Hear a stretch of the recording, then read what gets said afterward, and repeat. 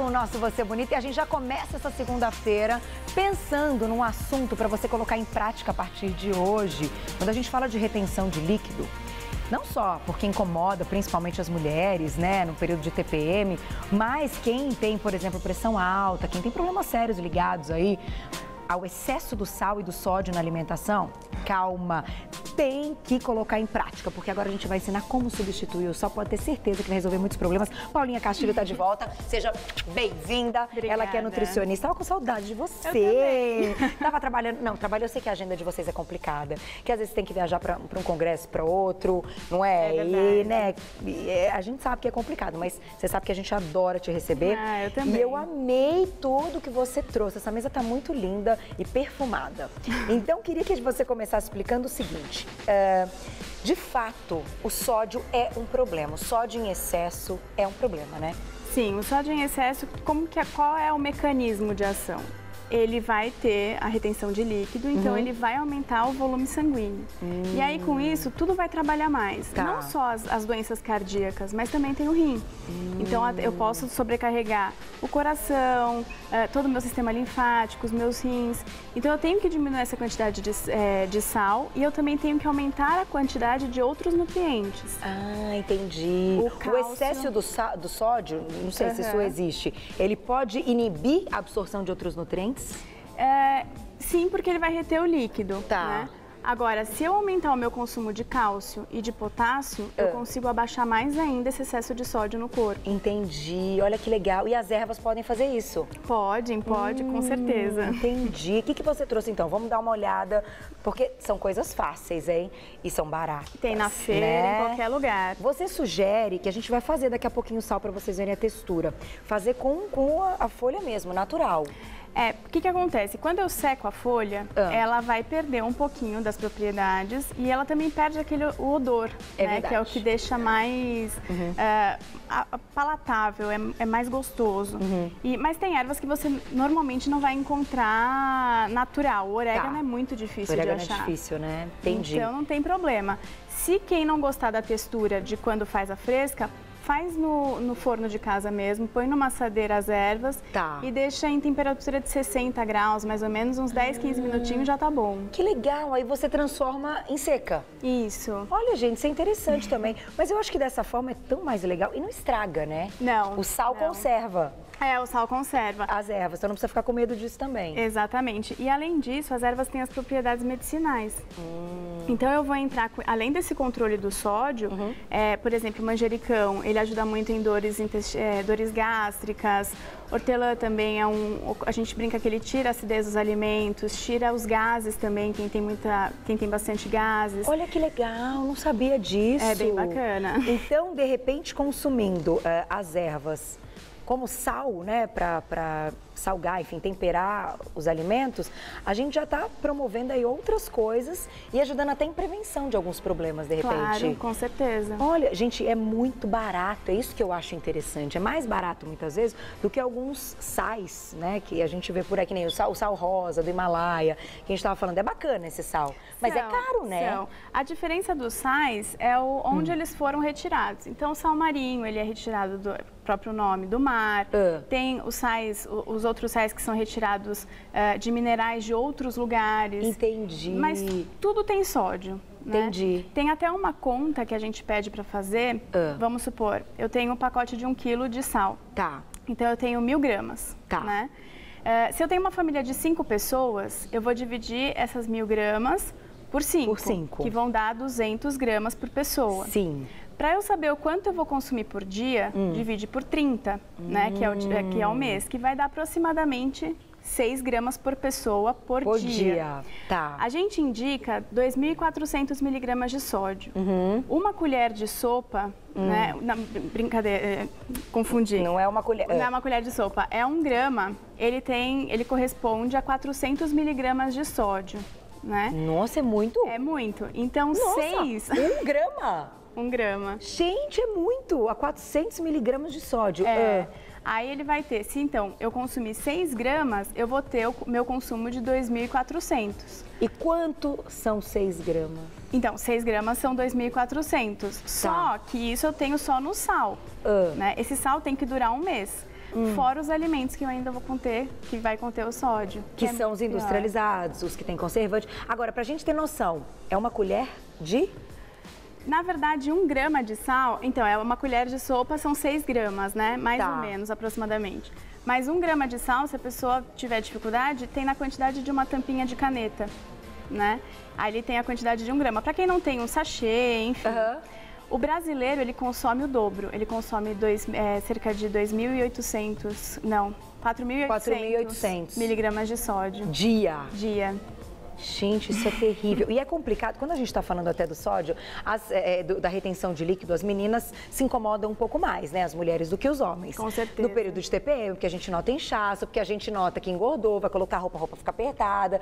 É desconfortável. Os homens até não, não ligam muito para essa parte, mas é, é perigoso para os dois, né? Com certeza, porque uhum. doença cardiovascular os dois podem ter. E o sal tá ligado a isso? O sal, com certeza. Paulinha tá se ligando pra gente. Ah, as ervas, as propriedades e como a gente pode substituir o sal. Daqui a pouquinho a gente vai aqui, ó, com o liquidificador, vamos fazer aí uh, uh, um sal muito bacana. Ah, deixa eu te perguntar, até antes da gente fazer, por quanto tempo a gente pode guardar esse sal?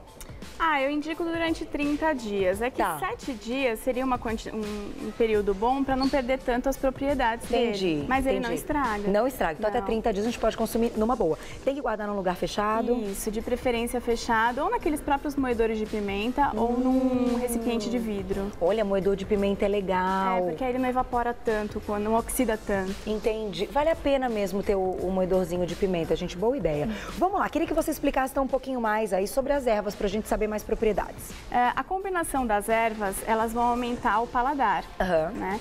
Então, é, quando for fazer, a gente indica, em vez de colocar o sal na preparação, ah. colocar uma colher de sopa da erva. Tá. E se for salgar, que deixe para salgar depois, quando a comida estiver pronta, ao gosto de cada um. Entendi. Né? Uhum. Então, a gente pede para fazer as combinações. O sal ah. que a gente vai fazer depois, ele é uma combinação de quatro ervas. Né?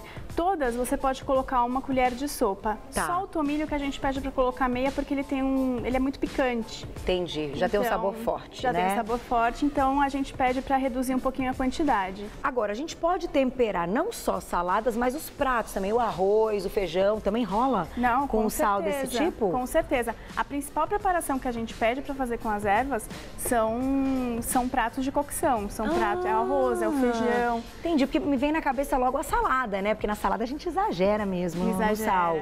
Às com vezes, certeza. na comida a gente até às vezes controla, mas quando vai para salada para ficar com mais, mais gostosa, né? Salada já não tem muita graça se a gente for pensar, né? O alface, o tomate, a gente sabe que não, não são os alimentos mais gostosos do mundo, apesar que eu sou louca por tomate, mas eu coloco muito sal. Então, nesse caso, é, é, dá certo para os dois, para comida pronta mesmo, de cocção, Sim. e para salada. É que para salada tem ah. pessoas que vão ser um pouquinho mais resistentes. Tá. E aí qual é a dica que a gente dá? Ah. Por que, que falam que o açúcar mascavo é o melhor? Ah. Porque ele é o mais natural, não foi tão refinado, não tem tanto aditivo químico. Uhum. Então, qual que é o sal mais interessante? É o sal grosso. Ah. Né? Então a gente pede para. Por que, que esses sais. Que tá aqui, Isso, ó. esses sais mais caros que a gente uh. vê, né, para uso culinário, eles são a base do sal grosso, que não foram tão. É, não teve uma química muito grande nele. Quanto mais pó, uh. mais aditivo e mais refinado ele foi. Entendi. Então aí a gente pede para bater no liquidificador, compra uhum. o sal grosso bate no liquidificador e aí sim coloca na salada ou coloca como aditivo. Então, esse sal tem menos sódio só por ele ser grosso? Não, na verdade, todo sal tem a mesma quantidade de sódio, ah. né? Uh, o que que acontece? As variações de sal. O sal grosso, ele tem menos aditivo, então Entendi. ele não vai ser tão prejudicial para a minha saúde. Entendi. O sal light, ele tem mais potássio. Então, hum. ele tem sódio, mas ele também vai ter o potássio, que ajuda Entendi. na eliminação uh, dessa retenção de líquido. Tá. Conforme os anos vão passando, nosso organismo dificulta, tem dificuldade de eliminar esse, esse sódio, esse sal. Então a gente tem que tomar muito cuidado. Isso aqui serve 100% para idoso. É, idoso, idoso é bem bacana. É, porque idoso não tem essa capacidade, cada vez eles ficam mais inchados, e aí já tem a conta de não beberem mais água, aí já ficam mais desidratados ainda. Entendi. Então, para o idoso, a gente prefere, além de realçar o sabor que eles perdem o, o paladar conforme é, os anos, é. a gente consegue realçar o paladar e também consegue fazer essa parte medicinal. Né? Que legal! É Agora, bacana. você trouxe pimenta. Sim. Eu nunca vi fazer sal com a pimenta. É, a pimenta a gente pede, é, ne- nesses casos, para colocar junto com a comida. Tá. Né? Então ela vai dar aquele paladar mais picante Uhum. e além disso ela tem outras propriedades. Ela estimula muito o metabolismo para a mulher que quer emagrecer ajuda. Dá uma aceleradinha. Dá. Oba. Mas a gente faz ela assim, com a pimenta assim? É, corta como se fosse um pimentão e Tá. refoga junto com a comida. Ah, não precisa Né? bater com sal, então. Não, não precisa. Aí Entendi. aqui a gente usaria mais como, Como, como, tempero. Mas Exato. aquela parte que é ardidinha, a gente tira. Ah, eu costumo a tirar. sementinha, é, né? Porque tem pessoas que não gostam. Olha, assim, é que algumas são até agradáveis, a gente suporta, mas tem umas, gente, pelo amor de Deus, acho que eu já contei aqui no ar, que uma vez eu achei que era um tomatinho cereja e era uma pimenta, ai, nem conto. eu fico arrepiada só de lembrar. Comi feliz da vida no jantar com amigos, vocês não sabem, que vergonha. Tive que sair correndo da mesa, fui pro banheiro, fiquei assim na pia jogando água, desesperada. E assim, o dia seguinte fiquei me lembrando de... Olha, uma coisa horrível. Então, assim, é melhor tomar cuidado e a pimenta retirar essas sementes. Sim. Eu fiquei com trauma. E É. apesar de gostar de pimenta. Porque eu ficava assim, é, é, muito. Mas você imagina uma pimenta desse Não, tamanho, você achar que é tomatinho são cereja? A louca, cruéis. né? A louca também, né? O que que Não é- sei como que eu confundi tanto, Paulinha. É, na Não, mas todo mundo confunde. É, né? Além Toma disso, cuidado. tem que tomar cuidado na hora de fazer um prato, porque É. o que está no prato as pessoas vão comer. Então a pessoa que faz tem que ter essa consciência. Aham. É, só para dar uma dica, É. quem come pimenta nunca bebe água. Porque aí a, a ardência vai espalhar mais. Tem que sempre comer alguma coisa.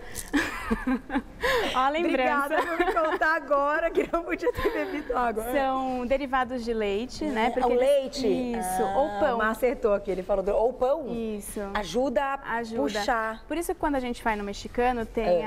as tortilhas, tem Aham. a- a- os, a- os, pate- os patês que eles têm com a base de queijo. Então, pra, Entendi, pra, dar uma, pra diminuir um pouquinho esse picante da, da pimenta. E vamos lá pro nosso sal, então. Você separou quais ervas para isso que a gente vai fazer agora? Aqui eu peguei o orégano, tomilho, manjericão e a salsa. E a salsa? Onde você achou o orégano?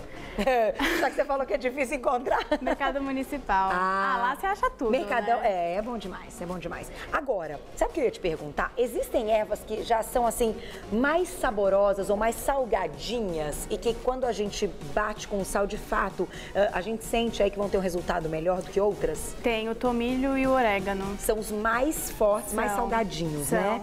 Então quem gosta de mais salgado mesmo, tá acostumado com paladar mais salgado, pode usar essas duas ervas. É, só cuidado com o tomilho porque ele é um pouquinho picante. Tá. Não vai deixar igual a pimenta. Não vai deixar igual a pimenta, pelo amor de Deus, passar o sufoco que eu passei. É verdade. Vamos lá, então. Deixa eu te ajudar. Quanto que a gente vai usar de cada um? Eu vou pegar uma colher, né? Se puder pegar a, a- Você faz, na verdade, a quantidade que você achar. Tá. E que pode é com tudo, não precisa tirar a folhinha, não. Não, não, não precisa. Tudo. Pode Olha ser. que legal, gente, completo. Aí aqui pega um pouquinho de manjericão. Ah, manjericãozinho. Aí, ai, manjericão é bom demais, né? O Aqui a salsa eu vou colocar tudo. Tá. Salsinha é legal, né? Ela, É. ela tem muita água, né? Tem. Isso é, muita- bacana também pra hidratar. É, quem tem problema no fígado, por exemplo, ela é muito boa pra ajudar a limpar. Ah, Se quiser olha, fazer gente. chá, alguma coisa. E é barato, tem que aproveitar. Apesar que assim, o supermercado deu uma aumentada, eu sei disso. Mas assim, ainda é a parte mais barata do supermercado. Com não é? certeza. E o sal você ainda não põe. Então, o sal a gente deixa para a pessoa colocar se precisar. Primeiro faz o teste de como vai ser eh, com esse tempero. Aí Tá. a pessoa tentou, eh, por mais que ela se esforce, ela falou, não, ainda precisa de um pouquinho, aí ela coloca, mas é uma colher de chá, no máximo, não é tá, muito. não é muito, então é bem pouco do sal. É muito pouco. Legal, vamos bater então? Sobe o som. You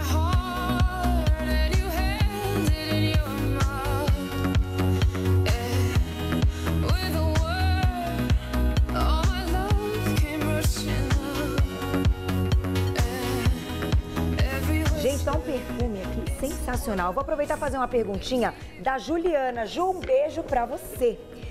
Carol, ah, vamos pegar no e-mail já na tela, tá? Vou ler essa da Juju, a gente já coloca do e-mail, Má. Carol, estou grávida de três meses. Parabéns, que notícia maravilhosa. Ela pergunta se ela pode consumir qualquer erva e diz que ela tá tendo muitos gases e ela acaba se sentindo mal.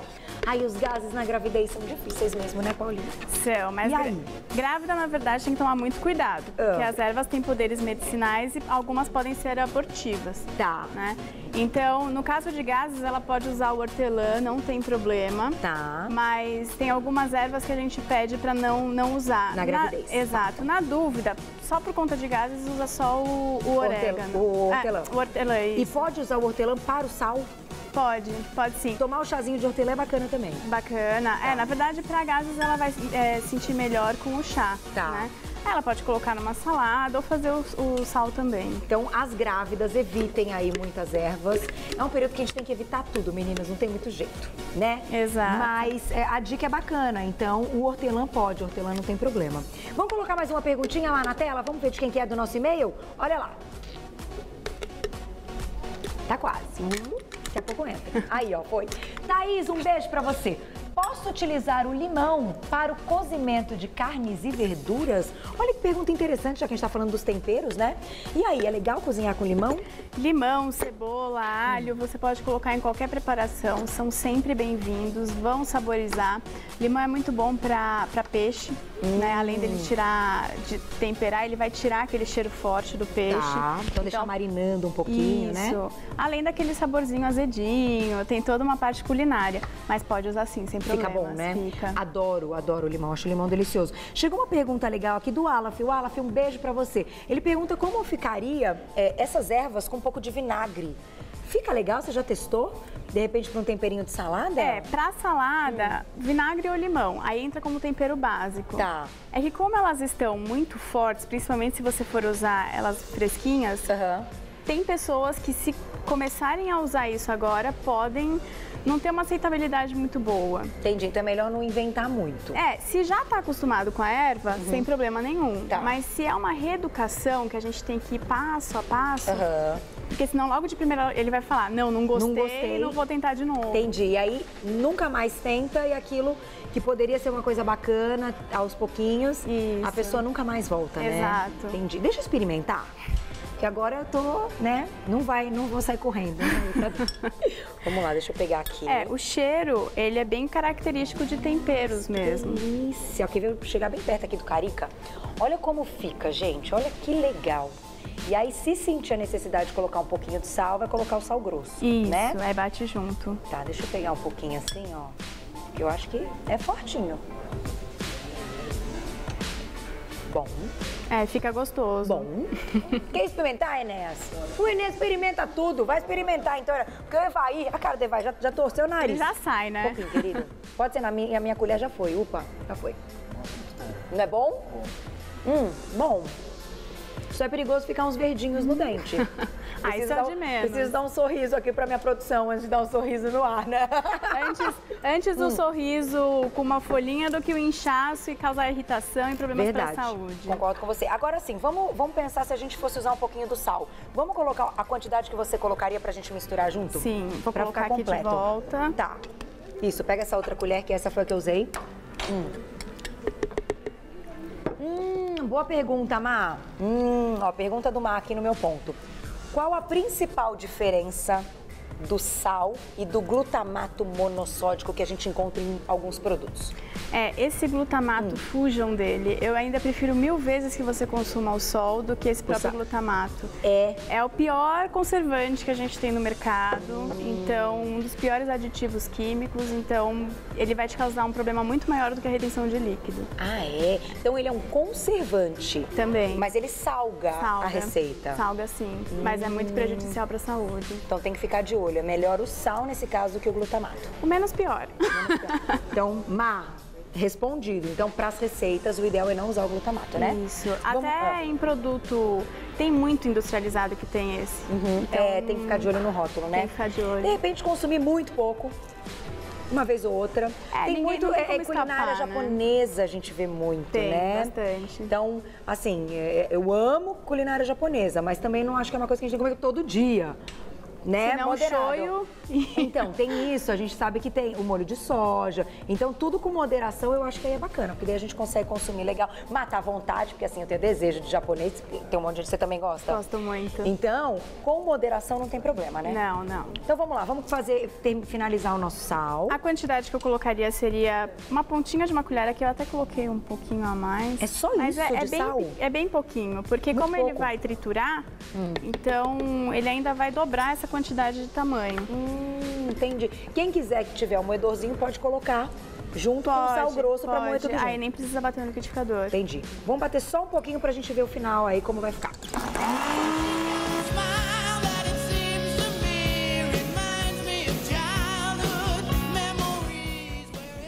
Aí, ó. Só pra mostrar agora, bem de pertinho, que eu acho que os meninos não estavam. Olha isso, aí bate. é, Aí também cada um escolhe a textura. Pode bater, bater, bater pra ficar É, um menorzinho. Exato, depende da preparação que você vai fazer. Se for um arroz, por exemplo, aí tem que bater mais. Uhum. Tá. Se for uma carne, aí não, Não tem, problema. Gente, fica gostoso. O que eu indico Hum. é não colocar logo em contato com a, com a panela muito quente, igual a gente faz quando vai refogar o alho e a cebola, porque é uma Tá. erva e ela vai queimar. Ah, Então tem que colocar ela no, no- no meio. Is- Exato, no meio da preparação. Entendi, isso é importante. Ó, já veio a perguntinha da Kelly. Kelly, um beijo pra você. Ela pergunta se a gente pode colocar o alho pra acrescentar essa receita, se é legal. Só não aqui. Tá. Vai colocar na hora de fazer a, a preparação. Entendi, pra refogar ali na panela e depois acrescenta essa, né? Isso. Só pra mostrar pros meninos que eu acho que o carica é, é- não tava aqui no carica quando a gente mostrou, é essa quantidade, né? É, pode ser, se quem quiser, essa é o máximo, né? É a quantidade isso aqui, máxima. gente, é muito pouco do sal grosso. Porque se você for pensar, você vai triturar. Aham. Então ele vai dar um muito, a quantidade vai aumentar visualmente. Entendi. Super bacana. Nossa, mas ficou perfumado, hein? É. Arrasou. Olha aqui o resultado final. A gente coloca então num frasco, tampa bem e até 30 dias pode usar esse sal. Pode, pode consumir sim. Se quiser manter bastante as prioridades dele, aí sete dias já é o suficiente. Sete dias. Isso. Essa quantidade dá pra consumir em sete dias. Dá, né? A gente tem que pensar nisso também. Tem que ver também o número de pessoas. Mas achei sensacional. Quero agradecer mais uma vez Paulinha Castilho, nutricionista. Eu vou passar pra vocês o contato dela. Quem quiser saber mais sobre esse assunto, que esse assunto é importante pra todo mundo. Até pras crianças, né? Tem um Com monte de criança certeza. fazendo reeducação alimentar, que já tá acima do peso. Isso é muito bacana. Tem criança com pressão alta. Então, gente. Ai, meu Deus. Isso já é um outro assunto, mas que é um É. assunto sério. www.saborintegral.com Saborintegral.com, telefone 0 operadora 11 41132806 41132806 entre em contato com a Paulinha. Posso só falar o Instagram? Ah, tem Insta, Tem, fala, tem dicas diga. diárias, quem quiser, é arroba Nutri Paula Castilho. Arroba Nutri Paula Castilho. Adoro o Insta. Insta é tudo de bom. É muito Obrigada, legal. viu? Beijo, adorei te ver. Volta logo. Mar falou que foi ótimo, estamos bombando. Volto sim. Beijo. Tchau, tchau. A Paulinha explica super bem, né?